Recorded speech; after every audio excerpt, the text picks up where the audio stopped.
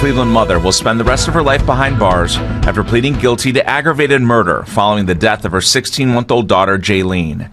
Crystal Candelario left her daughter home alone for more than a week while she vacationed in Puerto Rico and Detroit. Cleveland Seorang ibu di negara bagian Ohio, Amerika Serikat tega meninggalkan bayinya di rumah sendirian hanya untuk berlibur selama 10 hari. Akibat aksinya tersebut, bayi berusia 16 bulan tewas. Sang ibu, Christelle Candelario, dijatuhi hukuman penjara seumur hidup.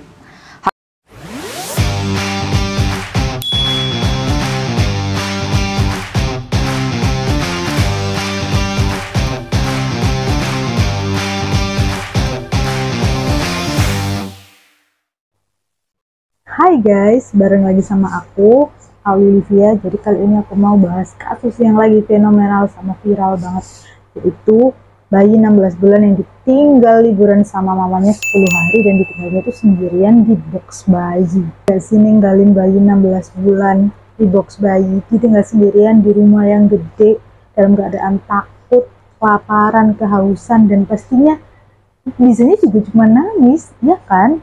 Ya udah, ini tuh kasus baby Jailin yang lagi viral-viral banget. Tapi kejadiannya itu udah tahun lalu, jadi tahun kemarin 2023.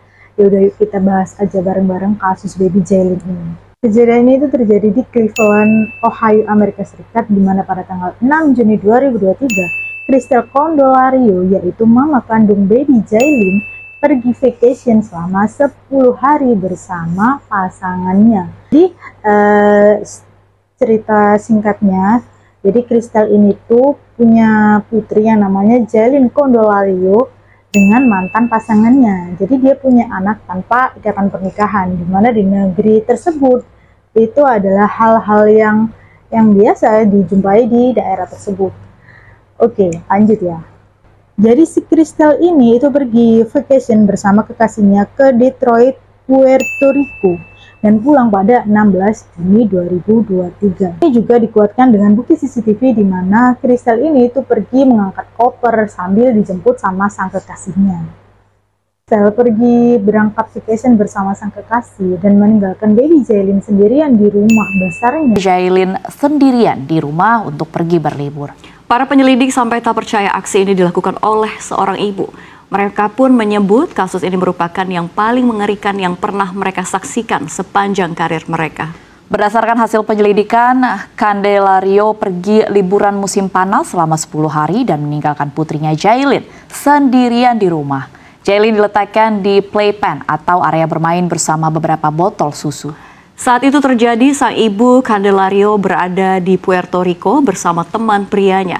Setelah beberapa hari di pantai dan singgah di Detroit, dia kembali ke rumah dan mendapati Jailin telah meninggal dunia. Ada salah satu tetangga yang merasa berisik, kok kenapa nih bayinya kok nangis terus? Diteleponlah si Kristal ini, dan jawabnya si Kristal itu apa? Dia itu jawabnya, oh iya baby Jailin ini lagi sakit makanya nangis-nangis terus. I'm sorry ya, maaf ya kalau mengganggu. Udah gitu aja terus dimatiin. Padahal tetangga sekitarnya itu juga tidak mengetahui kalau si Kristal ini tuh pergi vacation dan meninggalkan si baby Jelly ini sendirian di rumah.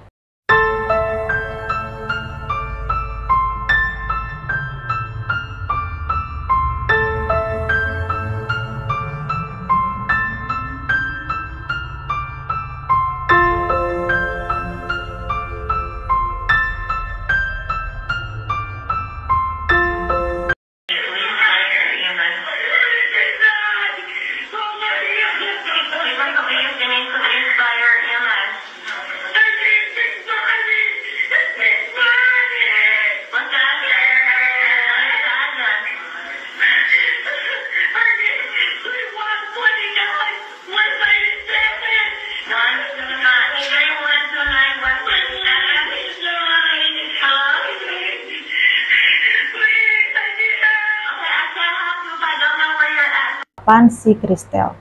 Jadi tanggal 16 Juni 2023 si Kristel ini pulang dari liburannya, dari vacation seneng-senengnya ke pantai, lagi selfie-selfie, seneng-seneng.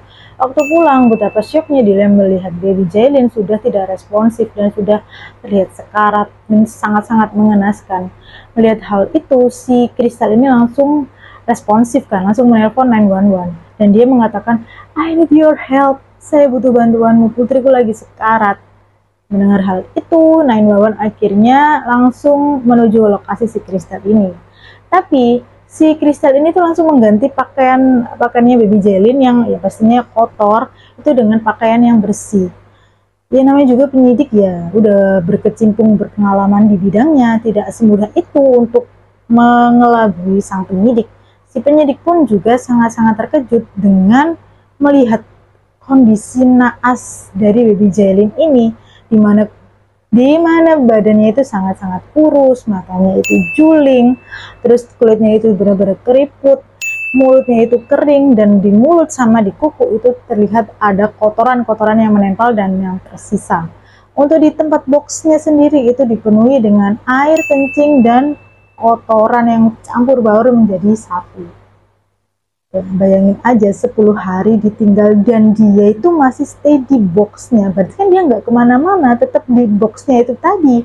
Melihat dan mendengar mendengar sang penyidik mengatakan uh, kotorannya itu menempel di kuku sama di mulut otomatis kita berpikiran bahwa dia si baby Jelin ini survive untuk makan kotorannya sendiri untuk bertahan hidup di mana sang ibunya si Kristel ini tuh lagi seneng-seneng selfie-selfie ya foto-foto happy-happy sama si pacarnya ini tadi. Uh, takut banget. 16 bulan untuk vacation selama 10 hari tanpa pengawasan. Hmm kalau dipikir-pikir masih lebih baik di Indonesia ya. Untuk tetangganya Indonesia kan lebih responsif ya. Meskipun responsifnya dari berbagai, berbagai hal, tapi kepedulian sama responsifnya tetangga Indonesia itu masih number one loh guys. Jadi kita masih bersyukur lah ya. Nasi sudah menjadi bubur dan saat dibacakan vonis Kristal itu menangis dan memohon pengampunan kepada hakim. Di mana hakim merasa tidak pantas untuk baby jelly mendapatkan nasib seperti ini. Hmm. Kalau kalian lihat, it's a relationship built on love, trust, and unwavering protection. Yet, in a shocking and betrayal of this fundamental trust,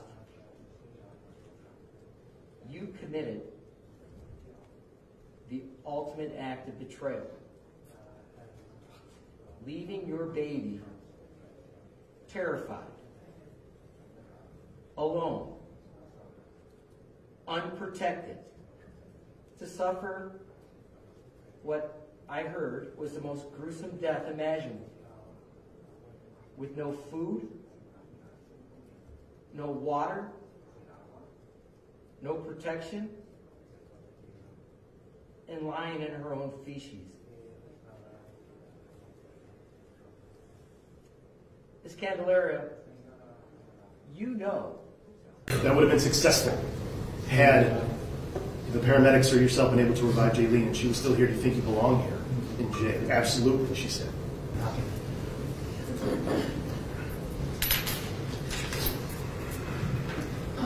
Um, Your Honor, good morning.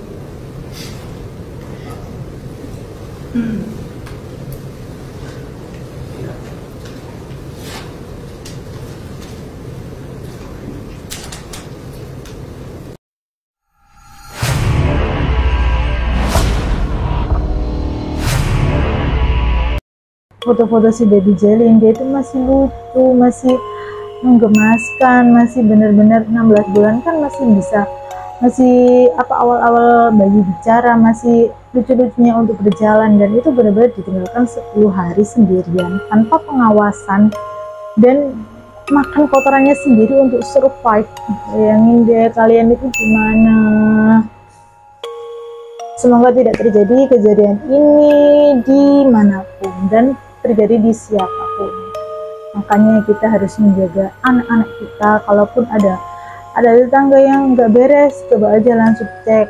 Nggak nggak salah juga kan. Ataupun kalau kalian takut untuk mengecek, eh, cari teman ataupun cari pihak-pihak yang berwenang atau pihak-pihak yang terkait buat mengecek itu ada ketidakberesan apa. Mari kita saling tolong menolong dan saling peduli satu sama lain. Oke okay guys, itu udah video dari aku aku yang lagi bener-bener hype sama viral banget. Jadi aku gemes banget buat ngebahas kasus ini. Jangan lupa subscribe, like, comment, and share konten aku. Dan jangan lupa follow berbagai konten berbagai uh, sosial media aku di sini. Sampai jumpa lagi di video aku berikutnya. Bye bye the detectives were able to locate on the door, on the ring doorbell, that on 6-9-2023 at around 1.04 a.m. in the morning that you hear this child crying.